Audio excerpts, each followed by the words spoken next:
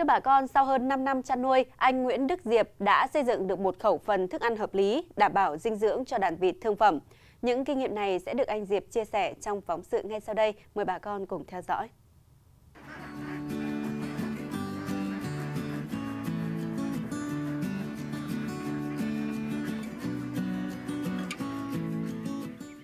Đây là đàn vịt 20 ngày tuổi.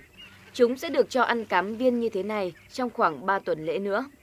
Sau đó anh Diệp sẽ chuyển chúng sang nuôi vỗ thương phẩm với một khẩu phần thức ăn hoàn toàn khác. Thóc này, đây là cái nguồn ờ, tinh bột này. Đấy, rồi cái thứ hai nữa là với cái nguồn ờ, chất xơ rồi uh, vitamin C. Đấy là ở trong rau đấy, mà con vịt nó đòi hỏi cái thực phẩm này là thường xuyên. Rồi đến uh, cám cá viên theo anh Diệp, nguồn thức ăn cho vịt phải rõ nguồn gốc và tuyệt đối không tồn dư hóa chất. Đồng thời các nguyên liệu này phải đảm bảo tươi sống, không ôi thiêu. Bột tỏi cũng được anh Diệp bổ sung thêm vào khẩu phần thức ăn nhằm tăng sức đề kháng cho đàn vịt.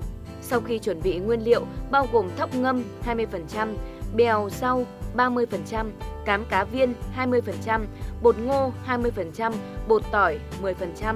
Anh Diệp sẽ sử dụng máy trộn đều các nguyên liệu. Trong quá trình đó, dì mật sẽ được bổ sung thêm để tăng khả năng tiêu hóa cho vịt. Mỗi ngày, một con vịt trời giai đoạn 2 tháng tuổi chỉ tiêu tốn khoảng 150 g thức ăn. Lượng thức ăn này được anh Diệp chia đôi cho ăn bữa sáng và bữa chiều tối.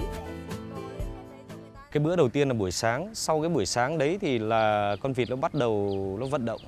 Đấy nó có thể bay, nó có thể uh, bơi, Đấy, bản thân con vịt trời nó vận động rất là nhiều và trong quá trình vận động đấy chính là cái lúc để nó giải phóng cái năng lượng. Ờ, mình cho ăn sau buổi chiều, nghĩa là buổi chiều muộn.